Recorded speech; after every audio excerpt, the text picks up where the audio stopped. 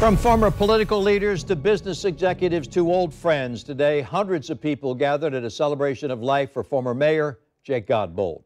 The people's mayor, as he was known, who wanted everyone to call him just Jake, died last month at age 86. His memorial was held at the convention center, which was converted from the old Union Terminal train station to an asset for the city under Godbold's leadership.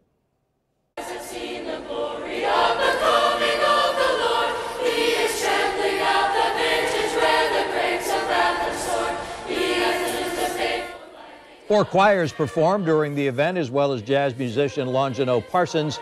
Godbold's casket was carried into the exhibition hall, following behind a New Orleans-style jazz band. Speakers included former mayors Delaney and Peyton, longtime business leaders, and former state senator Betty Holzendorf. He was an ordinary man, just like any other father, any other working class person, but he did extraordinary things. He made this city what it is. Now, I don't think any of us can imagine how wonderful heaven is, and that no one really, if they're up there, would ever really want to leave. But if Jean weren't already there in heaven, I could see Jake talking to God and saying this Now, God, this heaven's a very nice place, but it could use a little improvement. Maybe a big river, maybe some more catfish and bass and redfish, maybe a football team, and I don't care if it wins or loses. Jean, of course, was Jake Godbold's loving wife who died in 2013. News 4 Jax reporter Jim Piggott spoke with some of those who attended this celebration of life and is joining us live on the South Bank. Jim. You know, Tom, lots of people came up to me before the ceremony and after just wanting to talk about Jake. And they had ideas about how he should be remembered. One man was saying, hey, how about building a statue here on the South Bank with Jake just waving at the city over many of the accomplishments, the things that he brought to the city, the city that he helped build. As Jake Godbold's family entered the convention center behind the band playing When the Saints Go Marching In, Hundreds of Jake's friends and others were also there. They wanted to be part of the celebration of Jake's life, and they had plenty to say about the former mayor. Oh, he done a lot. Oh, oh I wouldn't be here if he had. Uh, if I didn't think he done a lot for the people, for other people, and I think some of these people up in Washington should uh, learn little from Jake Godbold. Jake was not only a politician, they say, but a friend that they could count on. What do you think was his biggest accomplishment? Oh, he had so many. I, I would say uh, what he put in with the team.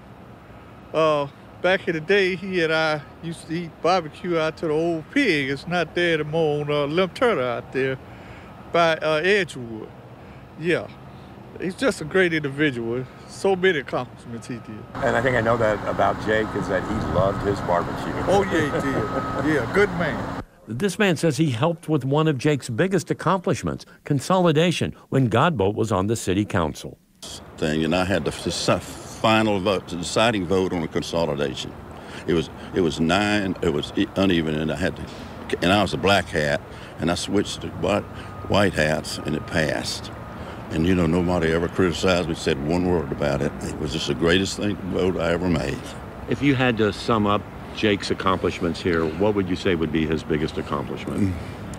Uh, just yeah, uh, so he did such enormous thing, hard to pick out just one, but uh, he was always there and he always told the truth.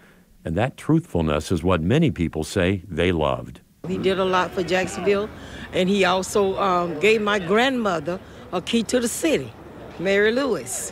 Why did he do that? Um, because she was such a good person, and I really miss her. And I'm going to miss him because he did so much.